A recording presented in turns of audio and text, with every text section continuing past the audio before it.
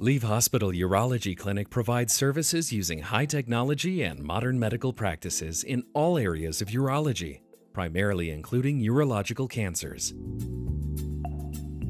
The Urology Clinic adopts a minimal invasive approach, emphasizing the use of the latest technological methods and a 360 degree approach. Among robotic systems, Da Vinci is the most advanced and commonly used. Liv Hospital successfully utilizes this new technology in urological surgeries. Robot-assisted surgeries result in less blood loss, faster recovery, smaller incisions, and minimal impact on sexual function and urinary incontinence, particularly in prostate cancer cases.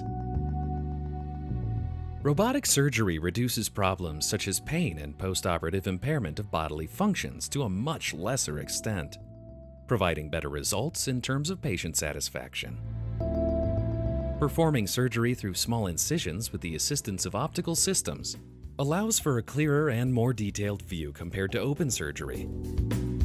This detailed vision and magnification of up to 12 times reduce tissue trauma, resulting in faster postoperative recovery and better oncological outcomes. The insufflation of carbon dioxide gas into the abdomen during surgery leads to less bleeding from capillaries and major blood vessels. Postoperative recovery is much faster compared to open surgery. This means shorter hospital stays and a quicker return to normal activities for patients. Due to the use of small incisions, patients experience less pain after surgery. As the size of the abdominal incision decreases, the incidence of surgical site infections is also reduced. The use of 1 to 1.5 centimeter incisions allows for better cosmetic outcomes compared to open surgery. The three-dimensional vision and capabilities of instruments result in less tissue damage and better preservation of the nerves responsible for penile erection.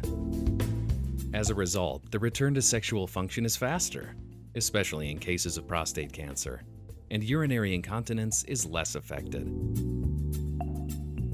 Robot-assisted laparoscopic surgery is commonly performed in urology for various procedures, such as radical prostatectomy for prostate cancer treatment, partial nephrectomy, nephrectomy, and pyeloplasty for kidney diseases, radical cystectomy for bladder cancers, adrenalectomy for adrenal gland diseases, and sacrocolpopexy for female bladder-related conditions, and robotic renal transplantation for end-stage renal failure.